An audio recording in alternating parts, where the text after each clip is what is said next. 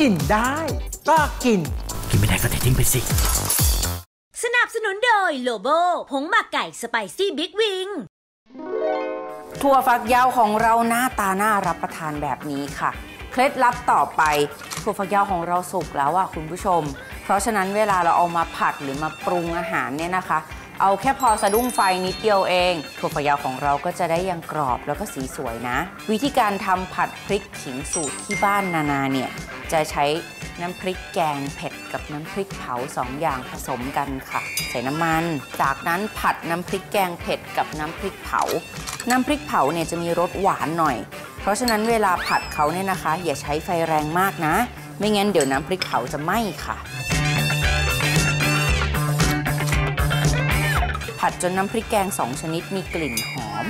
ส่วนตัวนานาจะนิยม ผัดน้ำพริกแกงเผ็ดก่อนแล้วค่อย ๆ ใส่น้ำพริกเผาไปผสม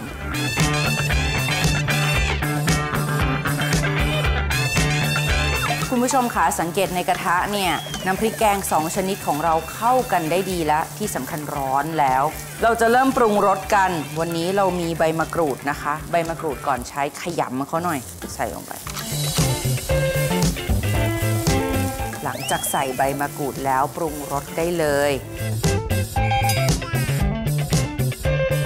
นานาจะปรุงรสด้วยน้ำปลา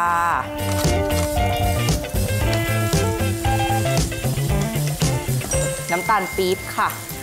ผัดพริกขิงเนี่ยจะมีรสหวานนิดหนึ่งเพราะฉะนั้นใส่น้ำตาลปี๊บ น้ำมันหอย ผัดให้เข้ากันก่อนค่ะ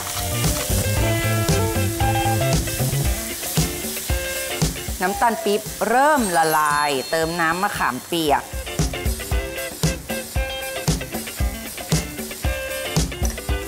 ก่อนใส่เนื้อสัตว์ของเราลงไป ดูให้ดีก่อนว่าน้ำตาลปี๊บของเราละลายหมดแล้วแบบนี้ จากนั้นนะคะคุณผู้ชมใส่น้ำมันพริกเผา เพิ่มสีสันสวยๆ จากนั้นใส่หมูสามชั้นกรอบของเราลงไป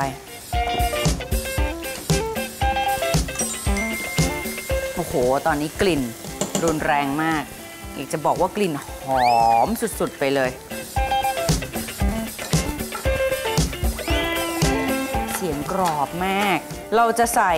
ถั่วฝักยาวของเราที่ลวกแล้วลงไปค่ะ ผัดเร็ว ๆ ผัดเขาแค่พอถั่วฝักยาวของเราเริ่มร้อน จากนั้นปรุงรสสมุนไพรเพิ่ม คือใบมะกรูดนะคะ แบบนี้แล้วก็พริกชี้ฟ้าแดงซอยกับใบมะกรูดอีกนิดนึงเอาไว้สำหรับโรยหน้าค่ะ หลังจากขัดส่วนผสมจนเข้ากันดีแล้วนะคะ ตักใส่จานเสิร์ฟได้เลย คุณผู้ชมจะเห็นว่าถั่วฝักยาวของเราสียังสวย แล้วนานาตั้งใจผัดแห้งๆหน่อยๆ เพราะเมนูนี้กินแบบนี้อร่อยอร่อย ตักใส่จานเสิร์ฟเลยนะคะ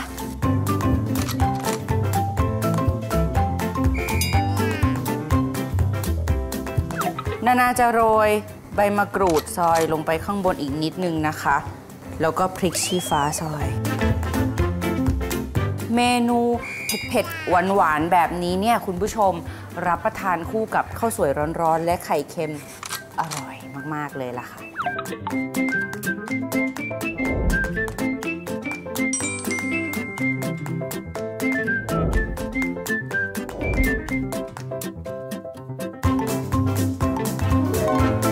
รียบร้อยแล้วกับเมนูของนานาค่ะคุณผู้ชม ช่วงหน้าจันยิ่งศักดิ์ยังคงมีอีกหนึ่งเมนูรอคุณผู้ชมอยู่รับรองความอร่อย อย่าลืมติดตามชมนะคะ ตอนนี้น้ำมันเริ่มร้อน ถ้าคุณผู้ชมรีบใส่ฟักทองลงไปก็กรุณารีบๆเพราะว่าการใส่ลงไปหลาย ๆ ชิ้นจะทำให้อุณหภูมิของน้ำมันเนี่ยลดลงโอ้คิดถึงตอนที่ทำอาชีพขายก๋วยแขกนะคุณผู้ชมนะทอดไม่ทันเชียวเขาไม่ได้มาซื้อเพราะก๋วยแขกอร่อยเท่านั้นนะ แม่ค้าสวย แม่ค้าสวย แม่ค้าสวยด้วยล่ะคุณผู้ชม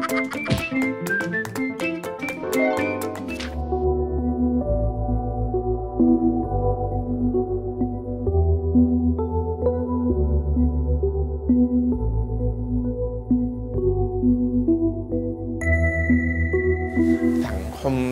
ส่วนใหญ่เปิดกว้างแต่ใจไม่ไม่เปิดเลย แต่กับใช้ปมดด้อยเพื่อรังแกผู้ที่อ่อนแอ เจอผ่านสังคมแบบมีแต่เปิดกว้างแต่ไม่เคยเปิดใจเลยเคยแล้วก็ใช้ปมด้อยด้อยคอยแบบทำร้ายความรู้สึกที่ไม่ดีกับผมจริง ๆ ผมทำซอสพวกอะโวคาโดอะฮะคือเป็นซอสที่กินกับพวกพวก egg salmon นะครับ ถ้าขนมมาครับเป็นเสิร์ฟพวกพวก vegan pancake แต่อะครับพวกวิด waffle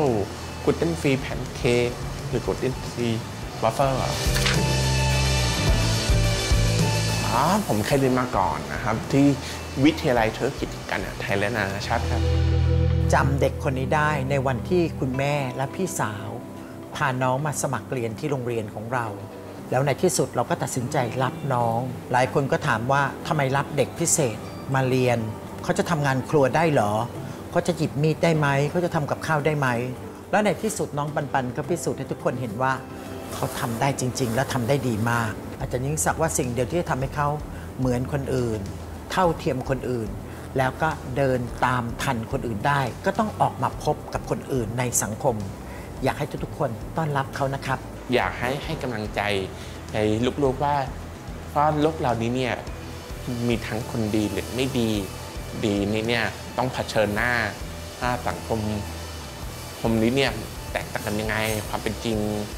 ยังต้องเผชิญหน้าหน้าได้เอาเป็นว่าถ้าหากคุณมีเด็กพิเศษ และคุณไม่รู้ว่าคุณจะวางทางเดินในชีวิตของเขาได้อย่างไร10กว่าปีที่อาจารย์ยิ่งศักดิ์นั่งสอนที่นี่ แล้วก็คุกคลีกับเด็กในกลุ่มนี้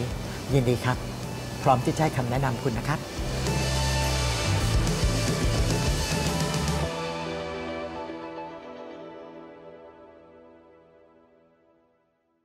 กินได้ ก็กิน กินไม่ได้ก็เททิ้งไปสิ